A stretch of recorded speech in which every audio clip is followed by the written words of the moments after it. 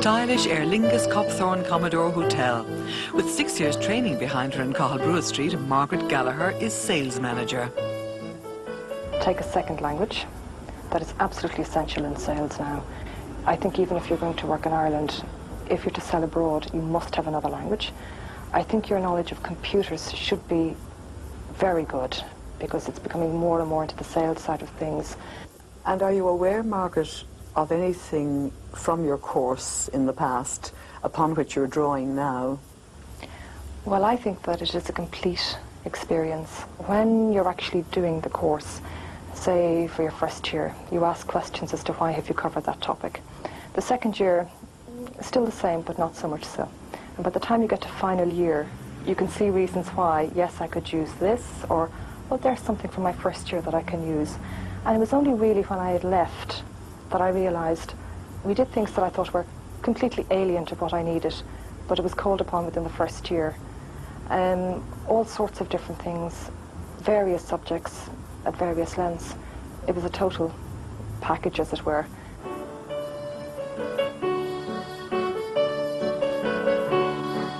In the Fáilte office, Anya Ades, another graduate in hotel management from the college, is Fáilte manager for France, Spain and Portugal. The hotel training that we got in Cathal Street is so inherent or inbuilt in what everything that goes on in tourism um, that it's hard to disassociate it. And also I find, like for instance, Ireland is dotted with ex-colleagues of mine from Cathal Street, past pupils of either my year, the years before, the years after.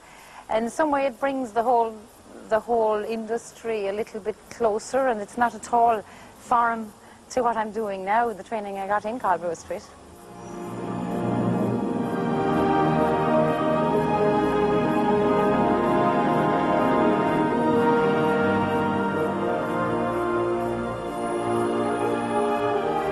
The Hyde Park Hotel in London's Knightsbridge has just been voted Britain's best five-star hotel.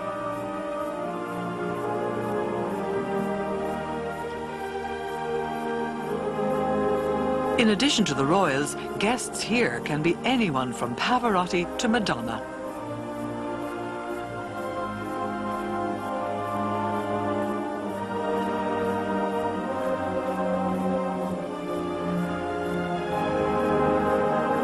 Then going through Cathal Street, I learned from a project catering how important it is to be mentally prepared for the business.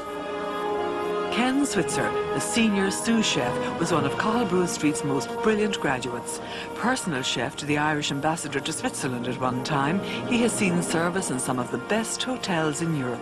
From when I was in Dublin College Catering, that cooking is probably one of the most dramatic, artistic, complete use of senses that you could have. Uh, artists are usually working in one line or another, it's vision, touch, smell, but with chefs, it's every sense of artistry is required you require your eyesight vision for artistic presentation. You eat with your eyes before your mouth. You then require, obviously, sense of smell for perfumes and uh, aromas. Again, senses. Once all these senses are activated, you get a successful meal. Uh, taste, naturally. Textures, from touch, feel, are also in. And then when you reach a, the level such as myself, uh, running a kitchen, you still need your hearing. You need to hear cooking. You need to hear food cooking correctly or too aggressively or too slowly. And therefore every sense of your body is always hyped up, adrenaline is pumping and it tends to be very passionate.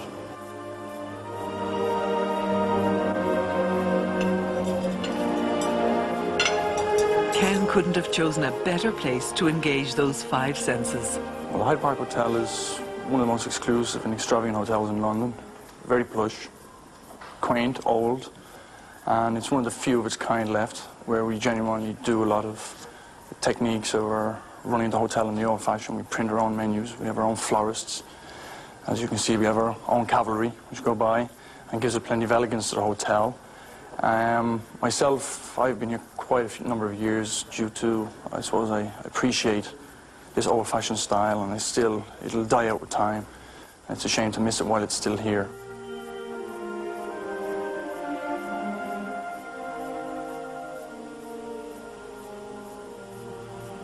At the Tower Bridge development in London, Terence Conran converted an old tea warehouse into one of his typical restaurants. David Burke is chef director of it. Saw what a good chef could do with, you know, good produce, and people were willing to pay lots of money for it. So I thought I'd like to have a go at that and learn more about the trade itself. And so I went to Brugha Street.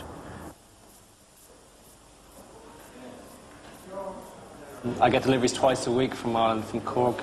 I use all Irish smoked salmon and all my oysters are Irish as well. Usually my, I get my winkles from uh, Clare Island and anytime I can get some really good uh, Dublin Bay prawns, I bring them over as well.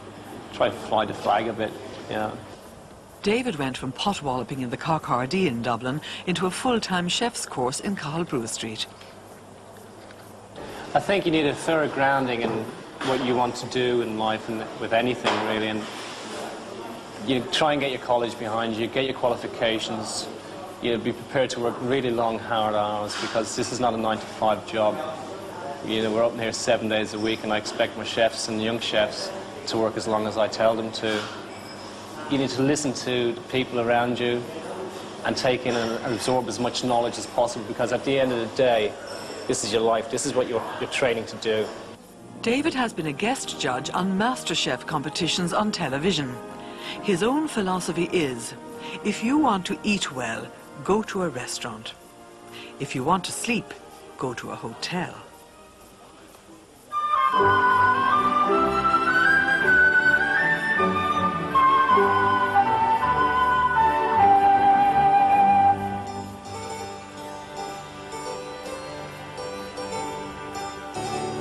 Kildare Hotel and Country Club, the K Club, is not for the faint-hearted in pocket. Gerard Denany is resident manager. His first communion lunch in the Montrose Hotel in Dublin made him fall in love with hotels and the business. Well, I qualified in 1987 from Cathal Brugha Street uh, with a Bachelor of Science in, in Management. I could have chosen to do work in a flight kitchen or work in a college or you name it. The opportunities are absolutely endless.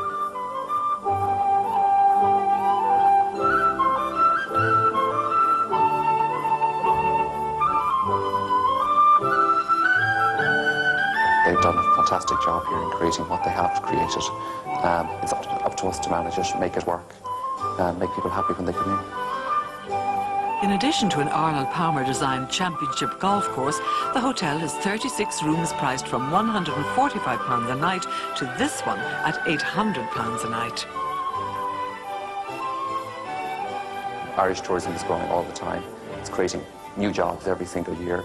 We employ in excess of over 120 people here, you know, year round. So that's a, a huge investment in people. And a lot of those people we're lucky to have from the local area.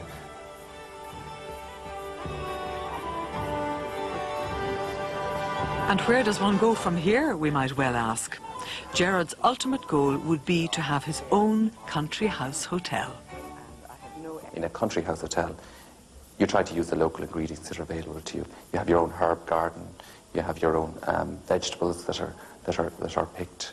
Um, you, you make things that you possibly can't make in, in, a, in, a, in a larger environment. If it was your own business, all the better, because I think, you know, you, you put a lot of work into, the, into this business, and certainly if you could, if you could, you know, channel the same energies into a business that you had for yourself, well, you, I would hope that you would do very well out of it. A manager coming out of Cathal Brugha Street has to be everything and he has to be into marketing as well, particularly in, in, in this country where our hotels are more smaller, more family orientated. It's distinct maybe, maybe from the big hotel groups such as the Doyle Group or the Jury Group. It's, it's a very difficult time for, for the manager nowadays. It's, it's quite a more uh, strenuous task for the, the students coming into the industry than it was in, during my time. The Southern Hotel Sligo, formerly the Great Southern, a family-run hotel. To his passion and success in Gaelic football with Donegal, Brian McEniff has succeeded in marrying a passion for the hotel industry. He owns, in addition, the Holyrood and Great Northern Hotels in Bundoran. He's a graduate of Cathal Brugha Street in hotel management. His sister Mary lectured there. His wife Coit, whom he met there, is also a graduate. His daughter Joanne comes from the University of Ulster, but Michael, her husband, is another Cathal Brewer graduate. I couldn't imagine ever wanting to do anything else at this stage of my career. It's, it's, it's a full-time job, really, but it's, uh, it's a labour of love, I suppose. It's, it's, it's like football. It gets into your, your bones, and, and uh, sometimes I leave the house to go down to the hotel for an hour, and I don't come back maybe for four or five. But uh, uh, it's, it's about people. The people business are great, and 99% of the people you deal with are very, very good. You get the odd person that makes life a bit difficult, but that's a challenge in itself to turn, turn that around, and that's something we learnt in the early days from the likes of Miss Moran, how to deal with people.